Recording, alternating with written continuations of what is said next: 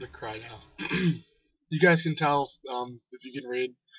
So if you guys noticed yesterday on the 5th of December, I was trying to upload a Kame ga Kill episodes subbed because I'm a fan of the show and I wanted to I wanted to watch it see if you guys wanted to watch it or anything.